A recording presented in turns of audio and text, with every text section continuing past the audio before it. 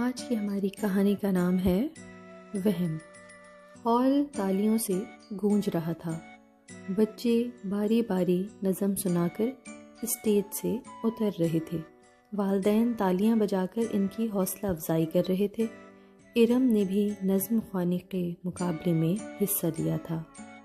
मुकाबला ख़त्म हुआ। सब फैसले का इंतज़ार करने लगे। इरम का दिल भी धड़क रहा था।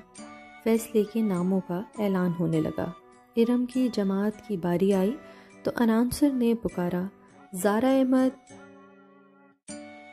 इतना सुनना था कि इरम रोती हुई अपनी जमात की तरफ़ भागी। काश मैं दादी अम्मा की बात मान लेती और थोड़ी देर रुक जाती। दादी अम्मा ठीक ही कहती हैं, बाहर जाते हुए छींक की आवाज़ आए तो रुक जाना चाहिए, वरना नुकसान होता है। मैंने नज़म पढ़ने की कितनी तैयारी की थी। उसने मेज़ पर सर रखकर फिर रोना शुरू कर दिया।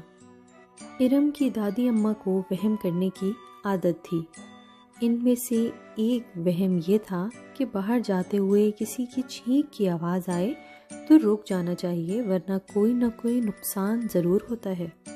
बच्चे कहीं जाने के लिए बाहर निकलते और आछी की आवाज़ आती तो दादी अम्मा इन्हें रोकने की कोशिश ज़रूर करती।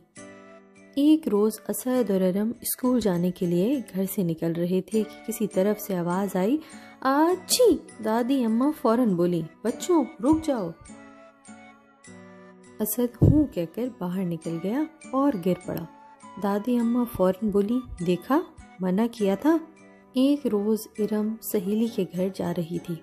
आज छी पर नहीं रुकी इत्तेफाक ऐसा हुआ कि रास्ते में गाड़ी ख़राब हो गई।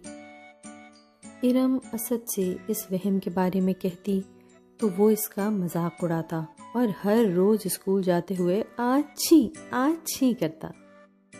इरम के मासूम जहन में ये वहम पक्का होता जा रहा था। सुबह जब वो नज्म खानी के मुकाबले में शिरकत के लिए घर से निकली तो आवाज़ आई, आछी! इसका नन्ना सा दिल परेशान हो गया लेकिन गाड़ी स्कूल की तरफ़ रवाना हो चुकी थी। अब इरम अपना नाम ना सुनकर बुरी तरह रो रही थी।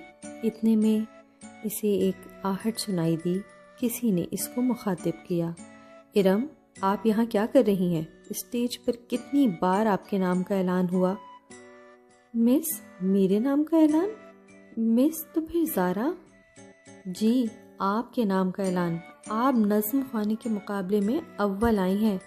जारा का नाम तो तीसरे नंबर के लिए पुकारा गया था। आपके वालदेन भी आपको वहाँ ना पाकर परेशान हैं। आपने ऐसा क्यों किया? वहम नहीं करना चाहिए। अम्मी और असद ठीक ही कहते हैं। जी, वो इनम इतना ही कह सकी। फिर सर झुकाकर सोचने लगी। तो बच्चों, आज की कहानी से हमें सबक मिलता है कि हमें खुद पर एतमाद होना चाहिए। ऐसी सुनी सुनाई बातों पर अमल नहीं करना चाहिए। और वहम एक बहुत बुरी आदत है। तो अगली कहानी के साथ आपसे मिलते हैं।